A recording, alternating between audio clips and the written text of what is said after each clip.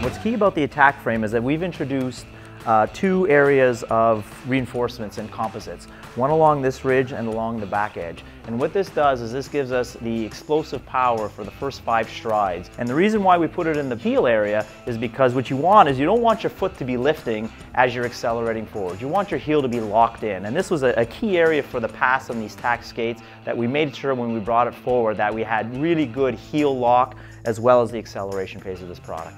Composite materials are lightweight and extremely performance in terms of response back so that when you actually flex the product, it gives you a return and reaction. So in that acceleration phase, you actually get a much more explosive power.